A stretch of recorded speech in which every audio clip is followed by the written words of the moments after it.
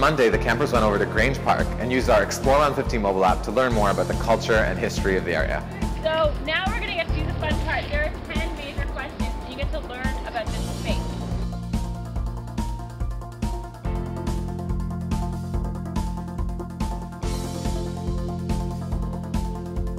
Um, well, we have done this thing called Explore 150, and it is an app where when you go to different places, you have different quests and you get different points.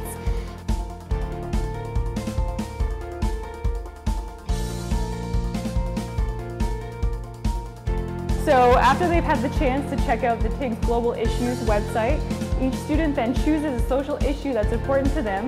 We post the issue on the wall and every student can vote on, the, on any idea that they like using small set of stickers.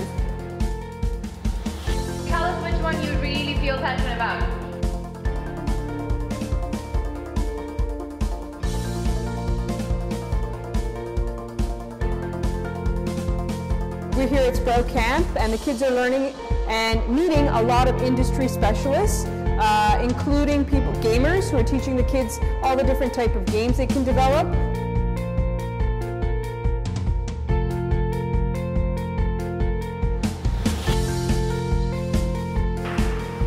Each student team has picked a different social issue, and using the MakerBot 3D printers here at the OCAD Inclusive Design Institute, they've each picked some kind of object or animal to prototype and build on a 3D printer related to their projects.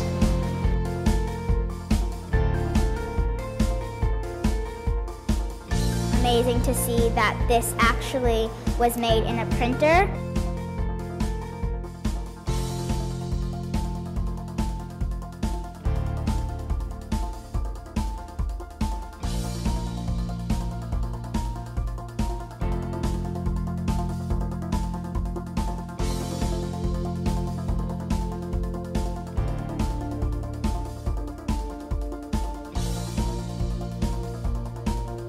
Was exciting to see Nathan come in because uh, he's a video game designer and I want to be a video game designer.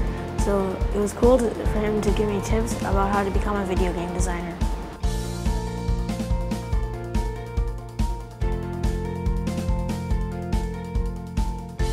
On Tuesday, we had a low carbon lunch, which meant that it used as little resources as possible and as little water as possible.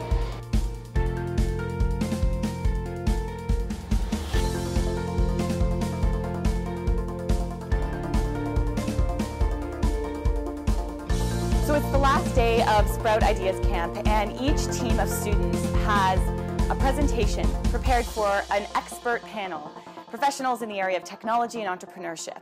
And we're about to hear from each project. They're going to explain their game prototype and what they've developed, the purpose of their game, and how far they've come along.